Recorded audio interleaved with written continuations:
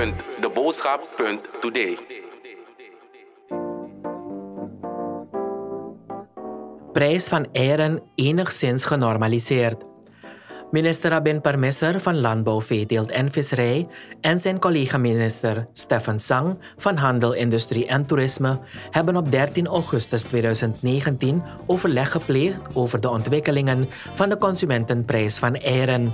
De overheid had de pluimveesector twee weken de tijd gegeven om de prijs per ei te stabiliseren.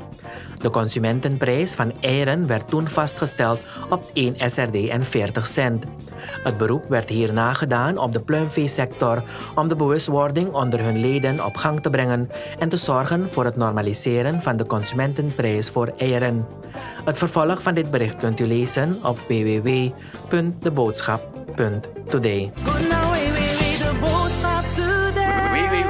www.deboodschap.today.